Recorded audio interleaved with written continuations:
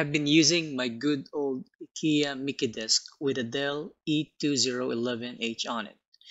It was good enough for my needs, however as everyone may have known, you only can get a limited space with the Micke desk. In my case, I even purchased the top shelves with it so I was stuck with using a small and single monitor. In order for me to be able to use an extended screen, I had to put a small table next to the IKEA Micke and place another Dell E2011H on top of it. After a long time of research, or should I say browsing some forums in Reddit, I decided that I've had enough of it and I needed to get a better desk and a bigger monitor as I also use this desk for working from time to time aside from casual gaming. The things I considered during the upgrade were the following. 1. It should be within a budget. As much as possible, I wanted to buy a desk second hand. 2. It should be minimalistic. As you have seen from the beginning of this video, I had a lot of stuffs on my desk. Things that I don't really need and just collects dust. I wanted to get rid of them. It should be comfortable to work at. That's number 4. Because from time to time, I do work from home so I need to make sure that I will be able to spend 8 hours working comfortably. In short, it should be better than my office desk. Lastly, it should be flexible. Yes, this is subjective.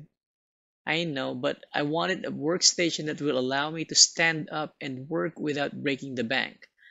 I also wanted to have a desk that would last me a long time and will be able to sit multiple monitors down the road should I feel the need to upgrade. In addition to flexibility, I wanted it to be approved by my wife as she will be using it as well.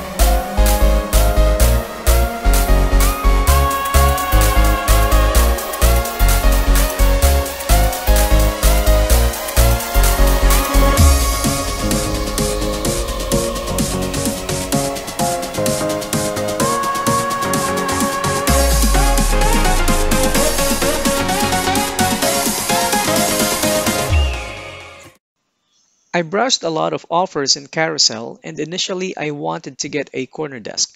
However, the price of the desks were beyond my budget and some are not really in good condition. After a lot of offers, I finally found one, but it's not a corner desk.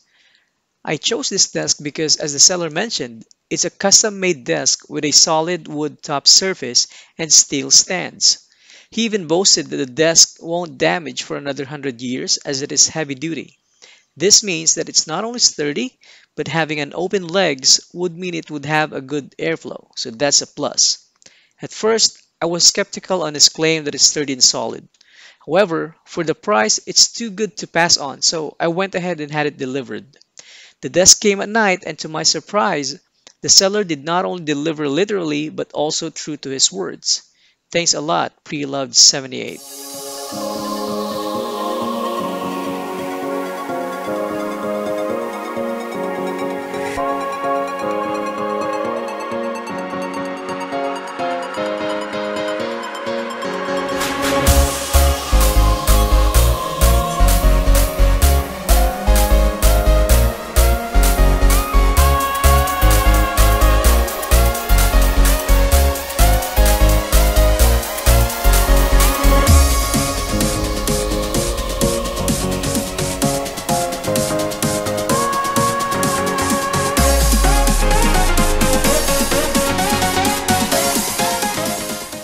For the monitor, I went with the LG UltraGear 34UC79G. It's an IPS curved ultra-wide monitor with very wide viewing angles. It's the best of both worlds in terms of gaming and productivity due to its 144Hz refresh rate and wide aspect ratio, not to mention that it's also within my budget.